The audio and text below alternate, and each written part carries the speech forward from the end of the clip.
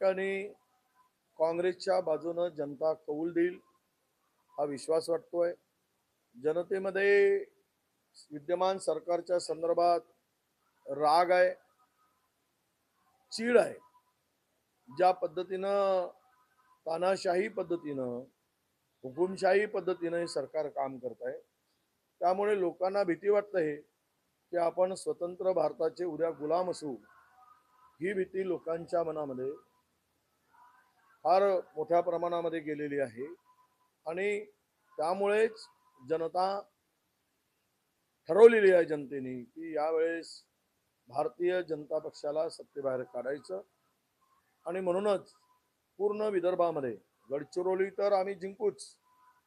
कारण गडचिरोलीचा उमेदवारांना निगेटिव्ह वातावरण होतं त्यामुळे त्यांना दुसरा पर्याय शोधण्याचा प्रयत्न केला. पण मिळाला नाही. त्यामुळे तिथले उमेदवार हे पडणारच असं गृहीत धरून ती उमेदवारी दिली गेली. आणि आमचे नेते आमचे किरसान किरसाण नेते विरुद्ध उभे आहे. आणि शंभर टक्के डॉक्टर नामदेव किरसाण त्या ठिकाणी निवडून येतील असा मला पूर्णतः विश्वास आहे. चंद्रपूरला काल प्रतिभा धानोरकर तुम्हाला येऊन भेटून गेले आहे अ, गेल्या काही दिवसात अम, त्यांनी टीकाही केली होती काय चर्चा झाली तुम्ही प्रचारात सहभागी होणार आहात का? नाही मी पक्षाचा कार्यकर्ता आहे शिपाई आहे. आणि मी तसेही जाणार होतो भेटल्या नसत्या तरी जाणार होतो. आज मी चंद्रपूरला चाललेलो आहे प्रचार सभेमध्ये.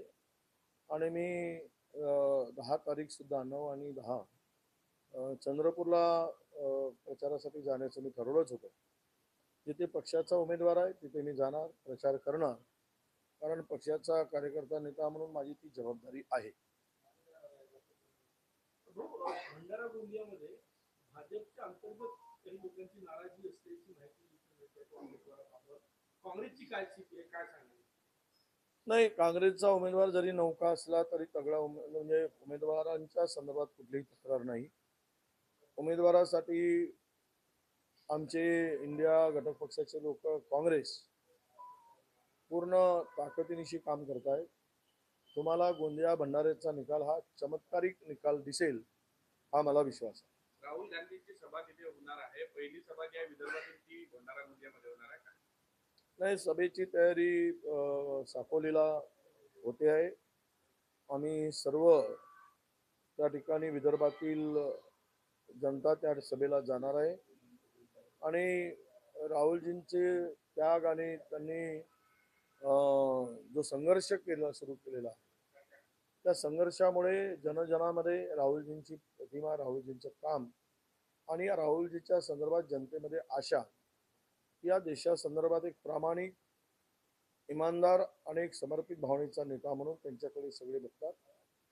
आणि त्यांच्या सभेला प्रचंड गर्दी असणार आहे आणि विदर्भातील या पाचही विधान लोकसभा क्षेत्रामध्ये त्या सभेच्या माध्यमातून नक्कीच तुम्हाला परिवर्तन परिवर्तनची लहर किंवा लाट निर्माण झाल्याची दिसेल.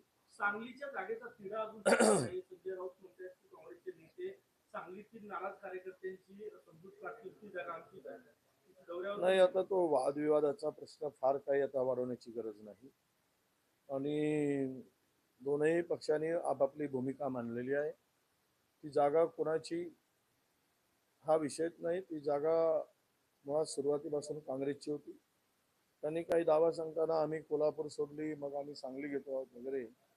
तर या सगळ्या वादामध्ये आम्हाला फार काही ताणून घ्यायचं नाही.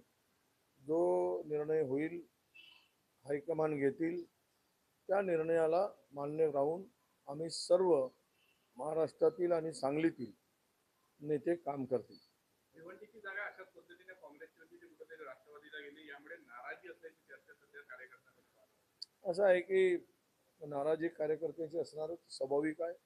परंपरागत जागा ज्यावेळेस अं, जातोय किंवा दुसरी दुसऱ्या पक्षाच्या वाट्याला जाते त्यावेळेस सर्वात सुरुवातीलाच थोडी नाराजी असते.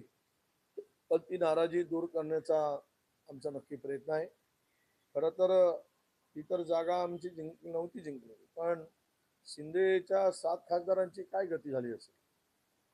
उद्धव ठाकरे भेटत नाही भेट गेले.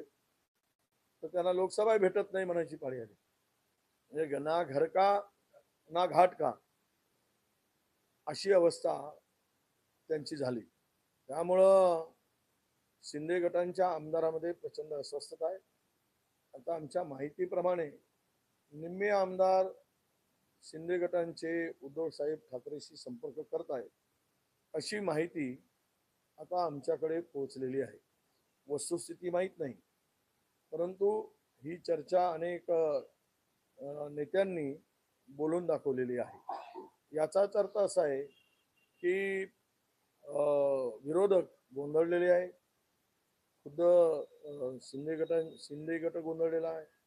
अजित दादा गट गोंधळलेला आहे. आणि भाजपाची अनेक ठिकाणी उमेदवारांच्या निवडी संदर्भात दमछाक झालेली आहे. परेशान झाले की आता इथे कोणता उमेदवार देऊ? कारण ज्याचं नाव घेतोय तो पडण्याच्याच तयारीत आहे. म्हणजे पडण्या म्हणजे पळून जाण्यात नाही.